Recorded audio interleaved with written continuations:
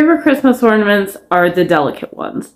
The little tiny ones that are handmade, the ones you put at the top of the tree where maybe the baby or the cat can't reach them. And I thought about those qualities while I hand painted these little ornaments. There's an Arctic deer here, a reindeer. Not to be confused with a caribou, because they are different.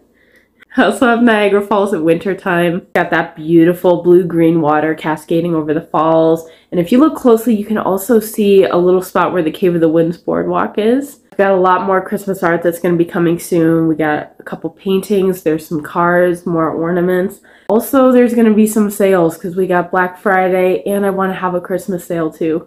So I'm Lisa Cornwell. Please check out my website to see this art and more. Take care.